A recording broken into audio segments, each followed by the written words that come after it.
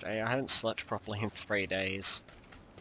Damn shame. I'm not allowed to be tired, you're not allowed to be tired. That happens to you all the time. I have a proper sleeping pattern. Oh, hang on. I see someone. That?